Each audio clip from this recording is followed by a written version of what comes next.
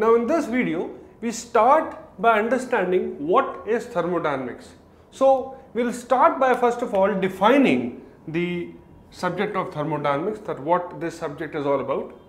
Then we'll learn about system that is thermodynamic system and then we learn about the thermodynamic surroundings.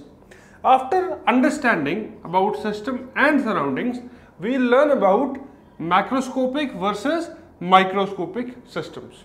Okay, so without further ado, let's start by the definition of the subject of thermodynamics. Now, if you look at the word thermodynamics, it is made up of two words basically, thermo and dynamics.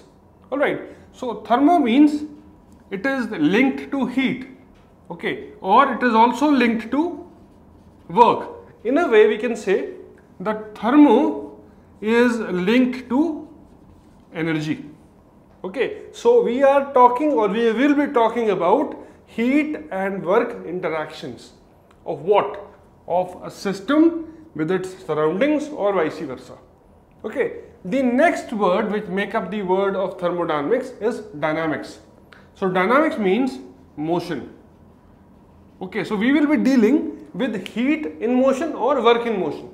Okay, that is you will be dealing in heat moving from system to surrounding or moving from surrounding to system or work moving from system to surrounding or from surrounding to system. So this is what we deal in the subject of thermodynamics that is we talk about energy interaction in broad terms between system and surroundings. Okay, now let's understand what is a thermodynamic system.